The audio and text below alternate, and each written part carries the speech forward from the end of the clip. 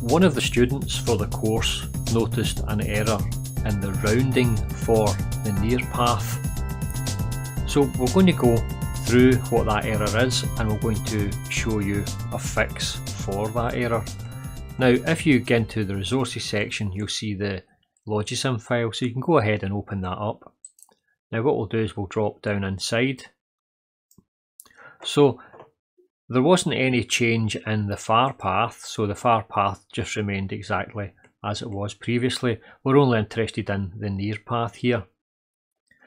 And the near path with a value of an exponent difference of 0, again, it's still okay because there's no rounding involved in that. But it's what happens whenever there's an exponent difference of 1 in the near path. So what would be happening previously is that we would be shifting the mantissa right by that value of 1. And what would happen is the bit, the least significant bit here would drop off the end. So if I made that an exponent difference of 1, then this one bit here would drop off the end. And that's it dropping off the end. And the previous videos I didn't take care of that one bit shift. So, and we have to deal with that one bit shift. So what we're going to do, if we head down into the next section, so there's no change in that section, but if we head down into this next block here, what we want to be able to do is, whenever we find the smallest in the 2's complement and then do this addition, we actually want to do it not only with the 24 bits for the, our values mx and my, we want to do also for that lost bit as well. So it means that we want to do the addition and subtraction with the lost bit that comes out here. And that's the thing that was missing from the previous videos. And I found a nice little fix, and it's a bit of a dirty fix, but it does work, and I'll show you what that fix is. So if we consider the exponent difference of 1 and also the exponent difference of 0. So first of all, the exponent difference of 1. Now what we have here on the left is a representation of the most significant 24 bits. And what we have on the right is going to be the least significant 24 bits. So in effect, whenever we shift this by a value of 1 to the right, then this one here is going to drop out into this position here. And that's what you can see here. We've shifted this to the right, so this x has dropped in here, and this 1 has dropped into this position. Now, if we were going to do the 2's complement from the very end of this point here, then what we would do is we would invert all of these values. So you can see I've inverted them all here. And then we could add the value of 1 on. So when we add the value of 1, we get 1 plus 1 is 0, carry 1. 1 plus 1 is 0, carry 1. And you can get that all the way along until you get to the final point here, which is a value of 1. So you can see here that at this point we don't carry anything over into this set of 24 bits. So that means that what we could do in this instance to get the correct answer is whenever we do the 2's complement, we were doing the 2's complement on this set of 24 bits here. So we were adding the value of 1 in at this point here. And it was this addition of the value at the, this point here, this addition of 1 at this point here, that was given as the wrong answer. In effect, the addition of 1 should have occurred back here. But it shows you here then that we have a solution. Because we, when we add this 1 in all the way along, it only gets to this point here and it doesn't get any further.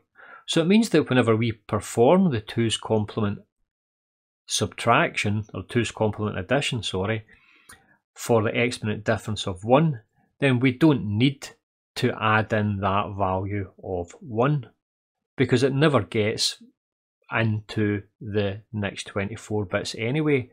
So we could, instead of adding the value of 1 for our 2's complement, we could just add the value of 0. And I'll go in and I'll show you that in the actual circuit.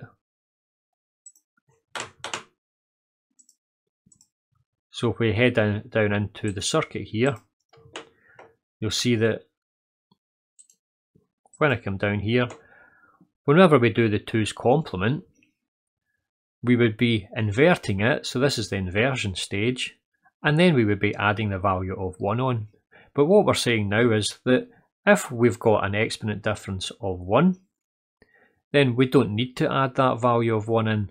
We could in effect just add the value of 0. So we've got the value of 0 here, and we've got to make that choice. So if the exponent difference, that is ex minus ey, is equal to a value of 1, then it's going to choose this bottom one here, which is 0. And that'll ensure that it gives us the correct answer. But we also have to be careful because that's not going to work for us whenever we have an exponent difference of 0. If the exponent difference is a value of 0, then we would have, for instance, a cross here, and we would have either a 1 or a 0 in this position. But we wouldn't be shifting anything to the right. So that means that if we were to perform a 2's complement here, and we were to invert everything, so we would invert every one of these, and then if we added 1 on to every one of these, then this would be 1 plus 1 is 0 carry 1, 1 plus 1 is 0 carry 1, and would, that would carry all the way through. And eventually, when we got to this point here, there would be a 1 carried through in here. But the 1 carried through in here, in effect, is just the addition of 1 for the 2's complement. So it means that we can, for the exponent difference of 0, we can just leave this as it is. That is, we just add the value of 1 on. So if we come back into the Logisim file,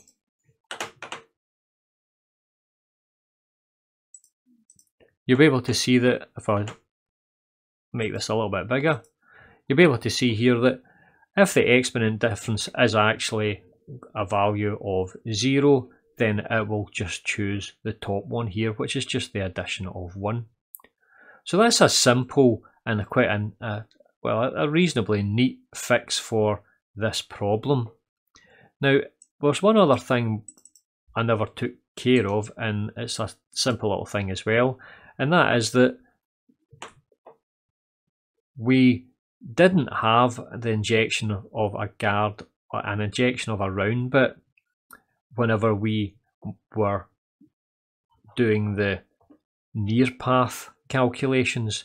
The guard and the round bit only occurred in the far path. So it means that whenever we're working in the near path, we're not going to be injecting any round bit. So if I come down here,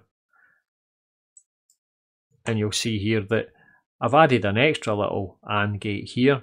And what that does is it tests to find out whether we're using the near or the far path. Now, if we were using the near path, then this would be a value of 0 and it wouldn't pass on any rounding bit. But if it was a far path, then this would be a value of 1 and it would just pass the rounding bit on per the truth table here. So that's the little fix that I had to add in in order to get that final part of the rounding correct. And I'll use that fix through the rest of the videos.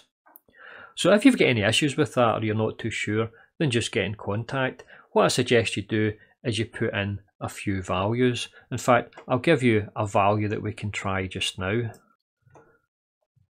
So if you go ahead and try these numbers, so C1736042, and if we're adding on 40E6B853, so when we're we're adding on, one of them is a negative, so in effect a subtraction occurs. Now, the correct answer here, after the rounding's been corrected, is the C10000418. Now, without that corrected rounding, this value would actually be C100041A. So you can go ahead and try those numbers and try a few other numbers yourself. And if, if you're unsure, remember you can always stick in the probes into each of the positions here. And when you stick the probes in, you can always remember to change the probe to hexadecimal. So you can stick in a probe here, for example. Face it south and you can change this to the hexadecimal value. So that's all for this video. Thank you for listening. I'll get you on the next video. Goodbye.